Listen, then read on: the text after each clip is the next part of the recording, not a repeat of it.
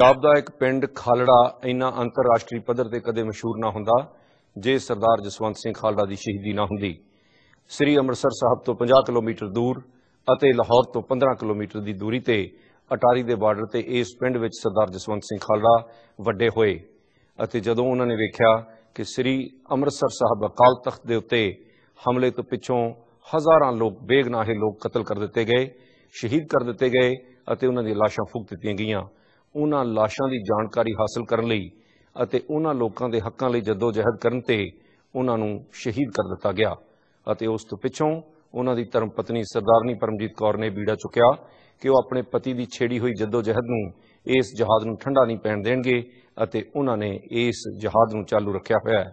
ਅੱਜ ਸਰਦਾਰਨੀ ਪਰਮਜੀਤ ਕੌਰ ਖਾਲੜਾ ਸਾਡੇ ਸਟੂਡੀਓ 'ਚ ਆਏ ਹੋਏ ਨੇ ਉਹਨਾਂ ਨਾਲ ਗੱਲਬਾਤ ਹੋਏਗੀ। ਬੀਬੀ ਜੀ ਸਤਿ ਸ਼੍ਰੀ ਅਕਾਲ ਤੇ ਜੀ ਆਇਆਂ ਸਤਿ ਸ਼੍ਰੀ ਅਕਾਲ ਜੀ ਥੈਂਕ ਯੂ ਬੀਬੀ ਜੀ ਸਰਦਾਰ ਖਾਲੜਾ ਸਾਹਿਬ ਬੈਂਕ ਦੇ ਡਾਇਰੈਕਟਰ ਸੀ ਤੇ ਉਹ ਇਹਨਾਂ ਲਾਸ਼ਾਂ ਤੇ ਇਸ ਮੁੱਦੇ ਦੇ ਨਾਲ ਕਿਸ ਤਰੀਕੇ ਨਾਲ ਸ਼ਾਮਲ ਹੋ ਗਏ? ਐਕਚੁਅਲੀ ਸਰਦਾਰ ਖਾਲੜਾ ਇਹ ਸਾਰੇ ਕੁਐਸਚਨ ਨੂੰ ਵੇਖ ਰਹੇ ਸੀ ਕਿ ਪੰਜਾਬ ਦੇ ਵਿੱਚ ਕੀ ਹੋ ਰਿਹਾ। ਉਹ ਬੈਂਕ ਦੇ ਵਿੱਚ ਡਾਇਰੈਕਟਰ ਸੀ ਅੰਮ੍ਰਿਤਸਰ ਤੇ ਅਨਫੋਰਚੂਨੇਟਲੀ ਉਹਨਾਂ ਦੇ ਦੋ ਕਲੀਗ ਜਿਹੜੇ ਆ ਉਹ ਵੀ ਇਸੇ ਤਰ੍ਹਾਂ ਹੀ ਲਾਪਤਾ ਹੋਏ। ਉਹਨਾਂ ਦੀ ਭਾਲ ਕਰਦਿਆਂ ਜਦੋਂ ਇਹ ਵਰਬਲੀ ਪਤਾ ਲੱਗ ਗਿਆ ਕਿ ਉਹਨਾਂ ਦਾ ਜਿਹੜਾ ਸੰਸਕਾਰ ਹੈ ਉਹ ਸ਼ਮਸ਼ਾਨ ਘਾਟ, ਦਰਗਿਆਨਾ ਮੰਦਿਰ ਦੇ ਵਿੱਚ ਹੋਇਆ। ਇਹ ਉਸ ਲਾਸ਼ ਨੂੰ ਲੱਭਣ ਵਾਸਤੇ ਸਪੈਸ਼ਲ ਦਰਗਿਆਨਾ ਮੰਦਿਰ ਗਏ।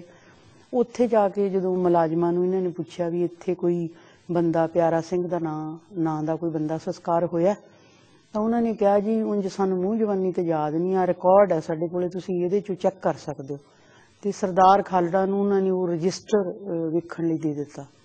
ਜਦੋਂ ਇਹਨਾਂ ਨੇ ਉਹ ਰਜਿਸਟਰ ਵੇਖਿਆ ਤੇ ਉਹ ਦੋ ਲਾਸ਼ਾਂ ਤਾਂ ਲੱਭੀਆਂ ਹੀ ਲੱਭੀਆਂ। ਉਹਦੇ ਨਾਲ ਜਦੋਂ ਇਹਨਾਂ ਨੇ ਰਜਿਸਟਰ ਦਾ ਰਿਕਾਰਡ ਵੇਖਿਆ ਤੇ ਉਹਦੇ ਵਿੱਚ ਹਜ਼ਾਰਾਂ ਹੀ ਲਾਸ਼ਾਂ ਜਿਹੜੀਆਂ ਉਹ ਲਾਵਾਰਸ ਕਹਿ ਕੇ ਲਿਖੀਆਂ ਹੋਈਆਂ ਸੀ ਕਿ ਫਲਾਣੇ ਪਿੰਡ ਦਾ ਫਲਾਣਾ ਮੁੰਡਾ ਉਹਦਾ ਫਾਦਰਸ ਨੇਮ ਉਹਦੇ ਪਿੰਡ ਦਾ ਨਾਮ ਔਰ ਇਹ ਕਿਹੜਾ ਥਾਣੇਦਾਰ ਲਾਸ਼ ਲੈ ਕੇ ਆਇਆ? ਤੇ ਕਿੱਥੇ ਮੁਕਾਬਲਾ? ਹਾਂਜੀ ਕਿੱਥੇ ਮੁਕਾਬਲਾ ਹੋਇਆ? ਈਵਨ ਉਹਦੀ ਇਹ ਲਿਖੀ ਆਇਡੈਂਟੀਟੀ ਵੀ ਲਿਖੀ ਸੀ ਵੀ ਕੇਸਾ ਧਾਰੀ 23 ਸਾਲਾ ਲਗਭਗ ਜਿਵੇਂ 23 ਸਾਲਾ 25 ਸਾਲਾ। ਕਿਉਂਕਿ ਸਾਰੀ ਆਇਡੈਂਟੀਟੀ ਤੇ ਨਾਲ ਉਹਦਾ ਐਡਰੈਸ ਪਤਾ ਵੀ ਲਿਖਿਆ ਸੀ। ਪਰ ਜਿਹੜਾ ਲਾਸਟ ਕਾਲਮ ਸੀ ਉਹਦੇ ਵਿੱਚ ਲਿਖਿਆ ਸੀ ਕਿ ਲਾਸ਼ ਲਾਵਾਰਸ ਹੈ। ਇਹਦਾ ਕਾਰਨ ਉਸ ਵੇਲੇ ਤਾਂ ਇਹੋ ਹੀ ਸੀ ਕਿ ਉਹਨਾਂ ਨੇ ਮਿਊਨਿਸਪਲ ਕਾਰਪੋਰੇਸ਼ਨ ਤੋਂ ਲੱਕੜਾਂ ਲੈਣੀਆਂ ਸਨ ਉਹਨਾਂ ਲਾਸ਼ਾਂ ਨੂੰ ਜਲਾਉਣ ਵਾਸਤੇ। ਪਰ ਉਹਨਾਂ ਨੂੰ ਇਹ ਨਹੀਂ ਸੀ ਪਤਾ ਵੀ ਜਿਵੇਂ ਚੋਰ ਆਪਣੀ ਪੈੜ ਜ਼ਰੂਰ ਛੱਡ ਜਾਂਦਾ ਹੈ। ਉਹਨਾਂ ਨੂੰ ਇਹ ਨਹੀਂ ਸੀ ਪਤਾ ਵੀ ਸਾਡੀ ਇਹ ਕਲੈਰੀਕਲ ਮਿਸਟੇਕ ਕੋਈ ਬੰਦਾ ਫੜ ਸਕਦਾ ਹੈ। ਤੇ ਸਰਦਾਰ ਖਾਲੜਾ ਨੇ ਜਦੋਂ ਉਹ ਰਿਕਾਰਡ ਕੱਢਿਆ ਤੇ ਬੜੀ ਹੁਸ਼ਿਆਰੀ ਦੇ ਨਾਲ ਉਹ ਰਿਕਾਰਡ ਸਾਰਾ ਫੋਟੋਸਟੇਟ ਕਰਾ ਲਿਆ। ਇਸੇ ਤਰ੍ਹਾਂ ਇਹਨਾਂ ਨੇ ਕਿਸੇ ਬਹਾਨੇ ਪੱਟੀ ਤੇ ਤਰਨ ਤਰਨ ਦਾ ਰਿਕਾਰਡ ਵੀ ਜਾ ਕੇ ਵੇਖਿਆ ਉੱਥੇ ਵੀ ਸੇਮ ਥਿੰਗ ਸੀ। ਬਈ ਸਾਰਾ ਕੁਝ ਹੋਣ ਦੇ ਬਾਵਜੂਦ ਵੀ ਲਾਸ਼ ਨੂੰ ਲਾਵਾਰਸ ਕਿਹਾ ਗਿਆ ਸੀ। ਔਰ ਉਹ ਬੜੇ ਸਮਝਦਾਰੀ ਦੇ ਨਾਲ ਜਿਵੇਂ ਉਹਨਾਂ ਨੇ ਇਹ ਰਿਕਾਰਡ ਕੱਢਿਆ ਸੀ ਉਹਨਾਂ ਨੇ ਇਹ ਗੱਲ ਸਮਝ ਲਈ ਸੀ ਕਿ ਜੇ ਮੈਂ ਰਿਕਾਰਡ ਪੰਜਾਬ ਦੀ ਧਰਤੀ ਤੇ ਸ਼ੋਅ ਕਰਦਾ ਜਾਂ ਕਿਸੇ ਕੋਰਟ ਨੂੰ ਦਿੰਦਾ ਵੀ ਇਹ ਰਿਕਾਰਡ ਤਾਂ ਖੁਰਦ-ਬੁਰਦ ਹੋਊਗਾ ਹੀ ਤੇ ਨਾਲ ਨਾਲ ਮੇਰੀ ਲਾਸ਼ ਵੀ ਖੁਰਦ-ਬੁਰਦ ਹੋਊਗੀ ਤੇ ਬੈਟਰ ਇਹ ਹੀ ਰਹੂਗਾ ਕਿ ਮੈਂ ਕਿਤੇ ਹੋਰ ਜਾ ਕੇ ਰਿਕਾਰਡ ਜਿਹੜਾ ਉਹ ਪਬਲਿਸ਼ ਕਰਾਂ। ਬਈ ਮੈਂ ਦੱਸਾਂ ਕਿ ਪੰਜਾਬ ਦੇ ਵਿੱਚ ਇਹ ਕੁਝ ਹੋਇਆ। ਇਸ ਲਈ ਉਹਨਾਂ ਨੇ ਪਹਿਲ ਜਿਹੜੀ ਦਿੱਤੀ ਉਹ ਕੈਨੇਡਾ ਦੀ ਧਰਤੀ ਨੂੰ ਦਿੱਤੀ। ਉਹ ਕੈਨੇਡਾ ਦੇ ਵਿੱਚ ਜੂਨ ਦੇ ਆਏ ਤੇ ਜੁਲਾਈ 27 ਨੂੰ ਵਾਪਸ ਗਏ। ਔਰ ਉਹਨਾਂ ਨੇ ਇਹ ਰਿਕਾਰਡ ਤੁਹਾਡੇ ਇੱਥੇ ਸਾਰੇ ਗੁਰੂ ਘਰਾਂ ਵਿੱਚ ਵੀ ਈਵਨ ਪਾਰਲੀਮੈਂਟ ਦੇ ਵਿੱਚ ਵੀ ਇਹ ਜਮ੍ਹਾਂ ਕਰਾਇਆ। ਕਿ ਪੰਜਾਬ ਦੇ ਵਿੱਚ ਇਹ ਕੁਝ ਹੋ ਰਿਹਾ। ਔਰ ਬਿਲਕੁਲ ਅਵੇਅਰ ਸੀ ਸਰਦਾਰ ਖਾਲੜਾ ਕਿ ਮੈਨੂੰ ਤਾਂ ਇਹਨਾਂ ਨੇ ਖੁਰਦ-ਬੁਰਦ ਕਰਨਾ ਹੀ ਆ ਲਾਸ਼ ਬਣਾਉਣੀ ਆ ਪਰ ਇਹਨਾਂ ਲਾਸ਼ਾਂ ਦੇ ਉੱਤੇ ਪਰਦਾ ਲਾਉਣਾ 10-10 20-20 ਲਾਸ਼ਾਂ ਇਕੱਠੀਆਂ ਹੀ ਜਿਹੜੀਆਂ ਅੱਧ ਜਲੀਆਂ ਕਰਕੇ ਸਾੜੀਆਂ ਗਈਆਂ ਤੇ ਫਿਰ ਅੱਧ ਜਲੀਆਂ ਲਾਸ਼ਾਂ ਜਿਹੜੀਆਂ ਦਰਿਆਵਾਂ ਦੇ ਵਿੱਚ ਰੋੜੀਆਂ ਗਈਆਂ। ਇਹਨਾਂ ਦਾ ਹਿਸਾਬ ਕਿਤਾਬ ਲੈਣ ਦੇ ਵਾਸਤੇ ਸਰਦਾਰ ਖਾਲੜਾ ਨੇ ਆਪਣੀ ਜਾਨ ਜਿਹੜੀ ਜੋਖਮ ਦੇ ਵਿੱਚ ਪਾਈ ਮੈਂ ਕਹਿ ਸਕਦੀ ਹਾਂ ਵੀ ਖਾਲੜਾ ਸਾਹਿਬ ਦੀ ਸ਼ਹਾਦਤ ਤੋਂ ਬਾਅਦ ਲੋਕਾਂ ਦੇ ਦਿਲਾਂ ਤੋਂ ਦਿਲਾਂ 'ਚ ਮਨੋਬਲ ਵੀ ਆਇਆ, ਪੁਲਿਸ ਦਾ ਡਰ ਵੀ ਲੱਥਾ ਤੇ ਪੁਲਿਸ ਵਾਲੇ ਡਰੇ ਵੀ। ਵੀ ਜਿਵੇਂ ਉਹ ਪਹਿਲਾਂ ਸਮਝਦੇ ਸੀ ਵੀ ਜਿਹਨੂੰ ਮਰਜ਼ੀ ਚੱਕੋ, ਜਿਹਨੂੰ ਮਰਜ਼ੀ ਮਾਰੋ। ਬੜੀ ਗੱਲ ਇਹ ਬਹੁਤ ਵੱਡੀ ਹੈ ਕਿ ਸਰ 6995 ਤੋਂ ਬਾਅਦ ਪੰਜਾਬ ਦੇ ਵਿੱਚ ਕੋਈ ਐਨਕਾਊਂਟਰ ਨਹੀਂ ਹੋਇਆ। ਇਹ ਮੇਰਾ ਖਿਆਲ ਹੈ ਵੀ ਲਾਸਟ ਹੀ ਹਾਂ, ਸਤੰਬਰ encounter 6, ਸੀ 1995 1995 ਤੋਂ ਬਾਅਦ ਮਤਲਬ ਉਹਨਾਂ ਨੇ ਜਦੋਂ ਇਹ ਇਹ ਗੱਲ ਉਹ ਪੁਲਿਸ ਵਾਲੇ ਸਮਝ ਗਏ ਕਿ ਹੁਣ ਜਿਹੜਾ ਇਸ ਤਰ੍ਹਾਂ ਇੰਨਾ ਸੌਖਾ ਨਹੀਂ ਆ ਵੀ ਜਿਹੜੇ ਮਰਜ਼ੀ ਘਰ ਚੋਂ ਬੱਚਾ ਚੱਕ ਕੇ ਕਤਲ ਕਰ ਦਿਓ।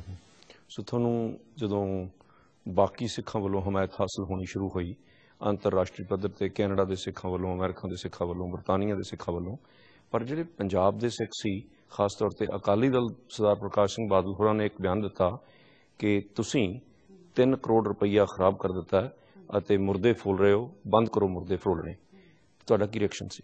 ਅਸੀਂ ਇਹ ਆਸ ਥੋੜੀ ਲਾ ਬੈਠੀ ਸੀ ਕਿ ਬਾਦਲ ਸਾਹਿਬ ਸ਼ਾਇਦ ਕੁਝ ਕਰਨ, ਕਿਉਂਕਿ ਉਹਨੇ ਉਹਨੇ ਜਦੋਂ 1996 ਦੇ ਵਿੱਚ ਇਲੈਕਸ਼ਨ ਲੜੀ ਆ ਤਾਂ ਉਹਨਾਂ ਨੇ ਆਪਣੇ ਏਜੰਡੇ ਦੇ ਵਿੱਚ ਗੱਲ ਰੱਖੀ ਸੀ।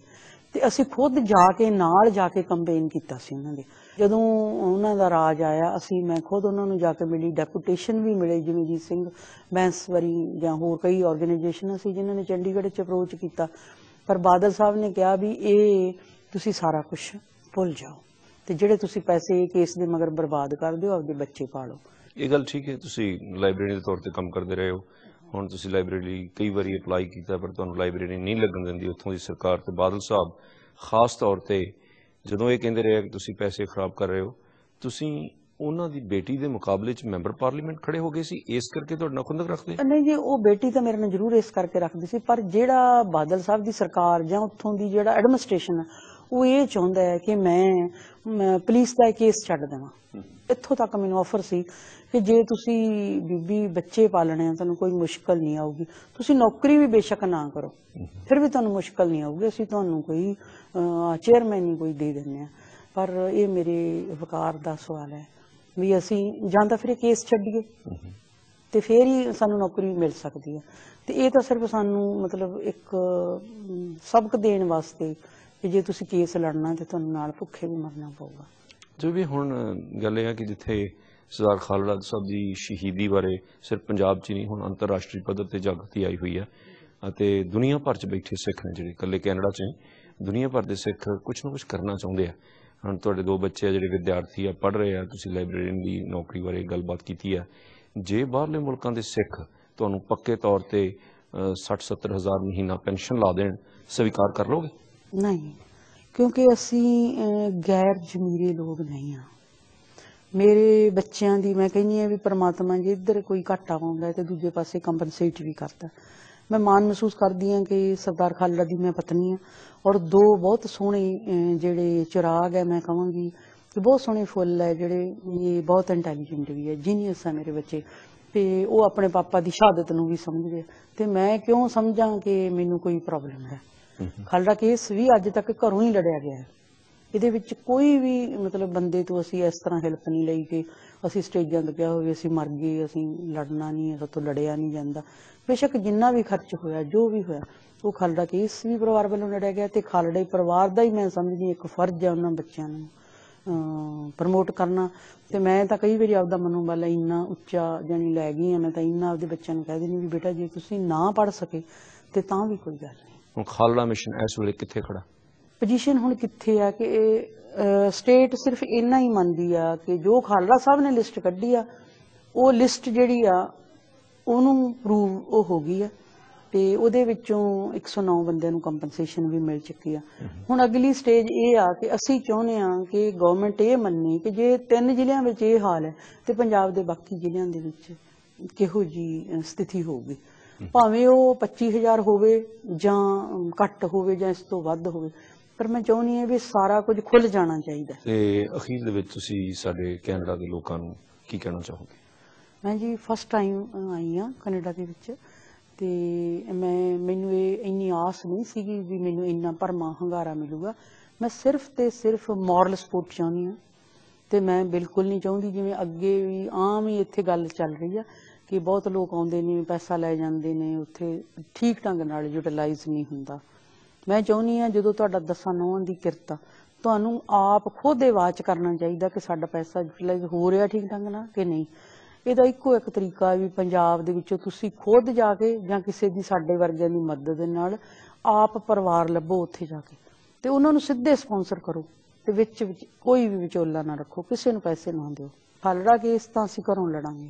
ਪਰ ਜਿਹੜੇ ਵਕੀਲ, ਇਹ ਦੂਜੇ ਕੇਸ ਦੇ ਵਿੱਚ ਜਿਹੜਾ ਦਿੱਲੀ ਕੇਸ ਚੱਲ ਰਿਹਾ ਲਾਵਾਰਸ ਲਾਸ਼ਾਂ ਦਾ, ਇਹਦੇ ਵਕੀਲਾਂ ਦਾ ਜਿਹੜਾ ਹਿਸਾਬ ਕਿਤਾਬ ਆ, ਉਹ ਇੱਥੋਂ ਹੀ ਕੀਤਾ ਜਾਵੇ। ਸਰਦਾਰਨੀ ਪਰਮਜੀਤ ਖੋਲੜਾ ਜੀ, ਜੇ ਹੁਣ ਫੇਰ ਮੈਂਬਰ ਪਾਰਲੀਮੈਂਟ ਦੀ ਇਲੈਕਸ਼ਨ ਹੁੰਦੀ ਹੈ ਉੱਥੇ ਦੇ ਪਾਰਲੀਮੈਂਟ ਦੀ ਇਲੈਕਸ਼ਨ ਹੁੰਦੀ ਹੈ ਪਹਿਲਾਂ ਤੁਸੀਂ ਇਲੈਕਸ਼ਨ ਲੜੀ ਸੀ, ਹਾਰ ਗਏ ਸੀ, ਹੁਣ ਫੇਰ ਲੜੋਗੇ? ਨਹੀਂ, ਇਹ ਬਹੁਤ ਕਸੂਤਾ ਜਿਹਾ ਸਵਾਲ ਹੈ ਬਈ ਇਲੈਕਸ਼ਨ ਮੈਂ, ਜੇ ਹੁਣ ਤੁਸੀਂ ਕਹੋ ਵੀ ਮੈਂ, ਮੈਨੂੰ ਕਾਂਗਰਸ ਟਿਕਟ ਆਫਰ ਕਰਦੇ ਮੈਂ ਲੜੂ ਨੈਵਰ ਜੇ ਮੈਨੂੰ ਤੁਸੀਂ ਕਹੋ ਵੀ ਬਾਦਲ ਮੈਨੂੰ ਟਿਕਟ ਆਫਰ ਕਰਦੇ ਜਿਹੜਾ ਸਾਡੇ ਸਿਧਾਂਤਾਂ ਨੂੰ ਖੋਰਾ ਲਾ ਰਿਹਾ ਤਾਂ ਵੀ ਨੈ- ਮੈਂ ਮਤਲਬ ਕਿ ਆਪਣੀ ਜਿਹੜਾ ਕਹਿ ਸਕਦੇ ਆ ਤੁਸੀਂ, ਆਪਣਾ ਸਬਜੈਕਟ ਆ ਜਾਂ ਇਸ਼ੂ ਆ, ਇਹ ਤੋਂ ਪਾਸੇ ਨਹੀਂ ਜਾਣਾ ਚਾਹੁੰਦੀ। ਜੇ ਕਦੇ ਇਸ ਇਸ਼ੂ ਤੇ ਫੇਰ ਕਦੇ ਲੋੜ ਪੈਂਦੀ ਆ ਕੋਈ ਚੰਗੀ ਗਵਰਨਮੈਂਟ ਆਉਂਦੀ ਆ ਕੋਈ ਚੰਗਾ ਲੀਡਰ ਸਾਨੂੰ ਮਿਲਦਾ ਜਿਹੜਾ ਇਸ ਇਸ਼ੂ ਨੂੰ ਮੁੱਖ ਰੱਖ ਕੇ ਮੈਨੂੰ ਅਹ, ਸਾਹਿਬ ਦੀ ਐਜ਼ ਅ ਵਾਈਫ ਕੰਸੀਡਰ ਕਰਦਾ ਵੀ ਉਹਨਾਂ ਨੇ ਕੋਈ ਕੰਮ ਕੀਤਾ ਤੇ ਫੇਰ ਮੈਂ ਕਦੇ ਸੋਚ ਸਕਦੀ ਹਾਂ ਵੀ ਜਿਵੇਂ ਕੋਈ ਚੰਗਾ ਬੰਦਾ ਅੱਗੇ ਆਵੇ ਜਿਹੜਾ ਇਸ ਇਸ਼ੂ ਨੂੰ ਹੀ ਸਮਝਦਾ ਹੋਵੇ। ਪਰ ਜੇ ਕੋਈ ਇਸ ਇਸ਼ੂ ਦੇ ਐਂਟੀ ਬੰਦਾ ਜਿਵੇਂ ਬਾਦਲ ਨੇ ਮੈਨੂੰ ਕਿਹਾ ਵੀ ਤੁਸੀਂ ਇਹਨੂੰ ਭੁੱਲ ਜਾਓ ਤੇ ਫੇਰ ਮੈਂ ਨਹੀਂ ਸਮਝਦੀ ਕਿ ਮੈਂ ਮੇਰਾ ਲੜਨਾ ਠੀਕ ਹੋਊਗਾ। ਬੀਬੀ ਜੀ ਬੜੀ ਮਿਹਰਬਾਨੀ ਤੁਸੀਂ ਫੁਰਸਤ ਕੱਢ ਕੇ ਆਏ। ਸ਼ੁਕਰੀਆ ਜੀ, ਸਤਿ ਸ਼੍ਰੀ ਅਕਾਲ। ਸਤਿ ਸ੍ਰੀ ਅਕਾਲ। ਬਹੁਤ ਬਹੁਤ